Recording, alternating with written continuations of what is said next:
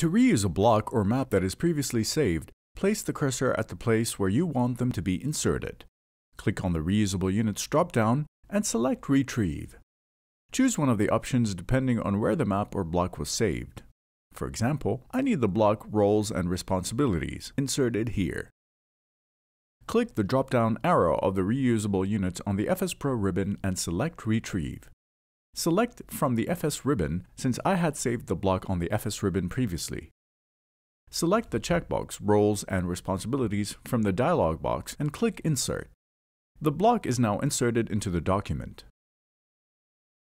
Maps can also be reused in the same way. Let's say I want to add the previously saved map, the quality team, into this document.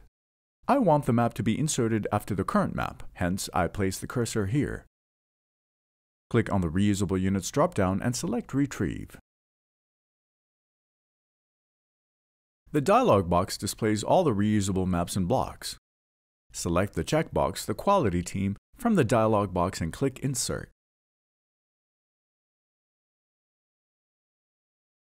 The map is now inserted into the document. And this is how we can easily retrieve and reuse the saved units in the document.